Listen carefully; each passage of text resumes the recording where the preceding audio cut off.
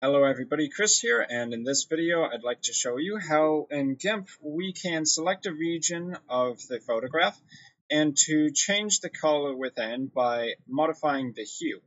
So in this video we're going to be using the scissors select tool and I'm going to go around each of these X and change the color by modifying the hue. So with the scissors select tool you can have paths uh, in a way be automatically determined by setting a few anchor points so I left click to set one there and notice I have anti-aliasing and uh, interactive boundary set. So I'm going to click a few more areas around the egg and you'll see it automatically kind of create these little paths. Um, and ideally we want to get as much of the color that's important to us as uh, possible. So in our case that would be the red. And we go around the egg until we get it roughly correct. So uh, let's add those all together. And then at the final point, you uh, click on the start to finish that loop.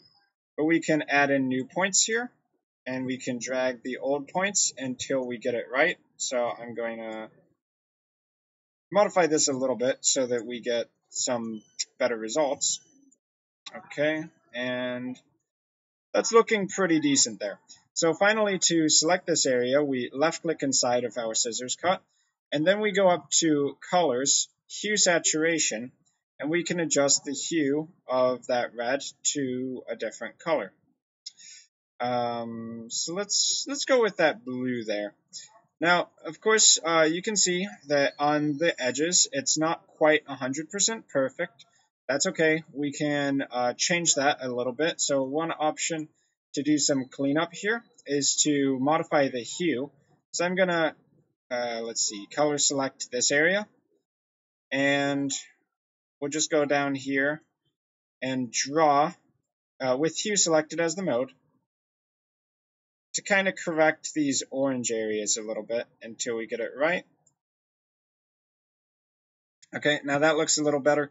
Um, obviously, uh, you probably want to spend a little bit more time you're trying to do this for a professional image. Um, and for now, we'll leave that there because we also need to select this blue guy over here. So once again, the scissors select tool. Note that it's very easy because you don't have to get a perfect circle. Uh, the scissors tool just kind of automatically determines most of this for you.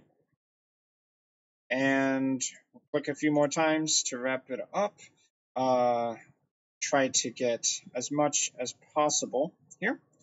And then we're going to change this over to a, a new color. Oh, whoops, forgot to select. Uh, yeah, make sure you click inside the scissors when you're ready to select. So we'll do this one more time. Okay, just kind of quickly here. And let's adjust these points get more of the area. That looks good. Okay, looks pretty good all the way around. So finally, click inside, and now we have the dotted selection. So we go to colors, hue saturation, and we can change that a bit. So let's make it something uh, radically different, like orange.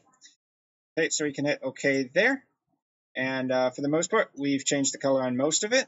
And then we can just do the uh, color saturation trick one more time. So selecting kind of that orange, and then we draw over these areas.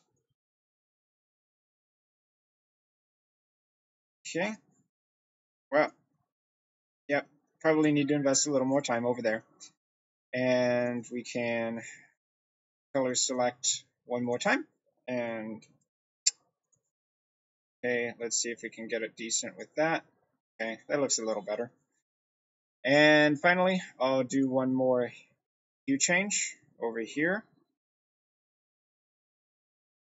Okay, and that, that looks decent. So uh, I've gone ahead and changed two of these eggs. And for the thumbnail, I'll go ahead and change the color for the remaining three. But for this tutorial, that's the basics of how you change the color, or the hue more specifically, of any object within your GIMP photos. So thanks for watching. I've been Chris, and I'll see you guys in my future GIMP tutorials.